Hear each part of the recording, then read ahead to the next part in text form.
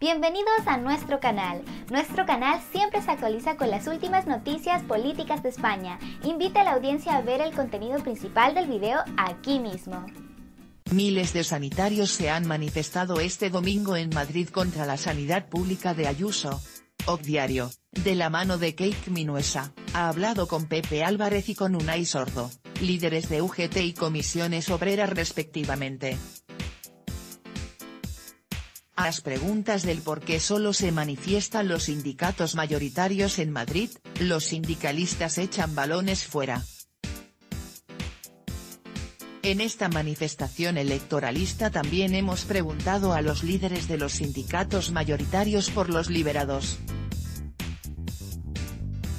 Que decidieron en plena pandemia no acudir a su puesto de trabajo ni por los enfermos, ni por apoyar a sus compañeros que los necesitaban.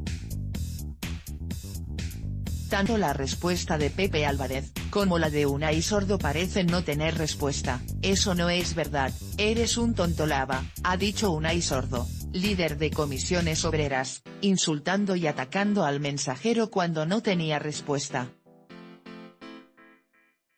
Hemos sido testigos de cómo trabajadores sanitarios llamaban vendidos a los manifestantes de UGT.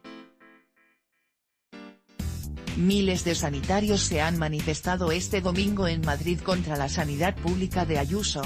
OC Diario, de la mano de Cake Minuesa, ha hablado con Pepe Álvarez y con Unai Sordo, líderes de UGT y comisiones obreras respectivamente. A las preguntas del por qué solo se manifiestan los sindicatos mayoritarios en Madrid, los sindicalistas echan balones fuera. En esta manifestación electoralista también hemos preguntado a los líderes de los sindicatos mayoritarios por los liberados, que decidieron en plena pandemia no acudir a su puesto de trabajo ni por los enfermos, ni por apoyar a sus compañeros que los necesitaban. Tanto la respuesta de Pepe Álvarez, como la de Unai Sordo parecen no tener respuesta, eso no es verdad, eres un tontolaba, ha dicho Unai Sordo, líder de comisiones obreras, insultando y atacando al mensajero cuando no tenía respuesta. Hemos sido testigos de cómo trabajadores sanitarios llamaban vendidos a los manifestantes de UGT. Desde el sindicato de enfermeras, la portavoz ha asegurado, Estoy harta de que se nos intenten utilizar contra Ayuso, solo quiero negociar por la sanidad en Madrid.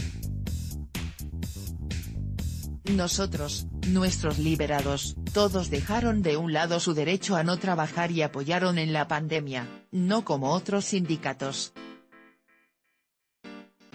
Muchos manifestantes tienen su mantra de odio tatuado en el cerebro, Ayuso asesina, y son capaces de decirlo, afirmarlo y a continuación negarlo. El 70% de los liberados en pandemia no fueron a trabajar. Sucede algo parecido al preguntar por el 70% de los liberados que no trabajaron en plena pandemia. Antes esto, silencio y negación de la realidad.